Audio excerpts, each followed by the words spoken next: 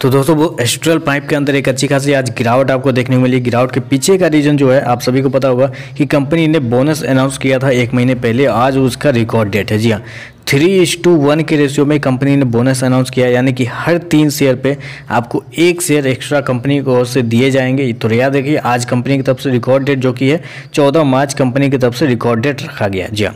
तो क्वेश्चन ये उठता है कि ठीक है, लेकिन शेयर प्राइस क्या होना चाहिए? देखिए, पहले मैं आपको शेयर प्राइस बताता हूँ, उसके बाद बताता हूँ कि कब आपके अकाउंट में शेयर क्रेडिट होना चाहिए, क्योंकि कल की अगर क्लोजिंग देखा जाए अट्ठारह सौ तिरासी रुपये के आसपास है। आज की अगर बात करें तो आज तीन थ्री टू वन पे जब आपको बोनस मिलेगा तो बोनस के बाद कुछ प्राइस करेक्शन भी होता है तो आज का जो स्टार्टिंग प्राइस होना चाहिए, वो होना चाहिए चौदह सौ ग्यारह रुपये के आसपास। तो याद रखिएगा, आज अगर चौदह सौ ग्यारह रुपये के ऊपर शेयर है तो मतलब आप प्रॉफिट में अगर चौदह सौ ग्यारह रुपये के नीचे जाता है, समझिए फिर आप लॉस में क्योंकि शेयर का हाई भी अगर देखा जाए तो शेयर का हाई अप्रोक्सीमेटली आप बोल सकते हैं छब्बीस सौ चौवन रुपये है, और शेयर अभी अठारह सौ तिरासी के आसपास की कल की क्लोजिंग है। तो ऊपर के लेवल से अच्छा खासा डिस्काउंट पे है और ऊपर से बोनस के बाद और शेयर के अंदर गिरावट आ जाएगी। तो ओवरऑल देखें तो एक अच्छा खासा कैंडिडेट हो सकता है आने वाले समय में अच्छे खासे बाई के लिए।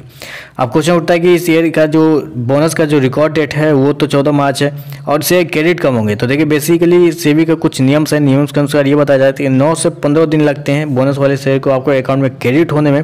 मिनिमम नौ दिन लगते हैं यूजली नौ से दस दिन में अकाउंट में आ जाते हैं शेयर तो आज समझ लीजिए, चौदह मार्च प्लस नौ दिन ऐड कर देते तो तेईस मार्च के आसपास से आपके अकाउंट में बोनस वाले जो शेयर है, वो क्रेडिट होने शुरू हो जाएँगे। वैसे भी कंपनी ने बताया कि मैक्सिमम मैक्सिमम जो टाइम लेगी वो कंपनी वो है छः अप्रैल के आसपास। तो याद रखिए, तेईस मार्च के आसपास से आपके अकाउंट में शेयर क्रेडिट होने शुरू हो जाएँगे। उससे पहले नहीं आएँगे, तेईस मार्च के आसपास ही आपके अकाउंट में बोनस शेयर क्रेडिट होने शुरू हो जाएँगे। तो बस आज के लिए बस इतना ही। वीडियो पसंद आए तो लाइक कीजिएगा, साथ में साथ चैनल को सब्सक्राइब ज़रूर कीजिएगा। धन्यवाद।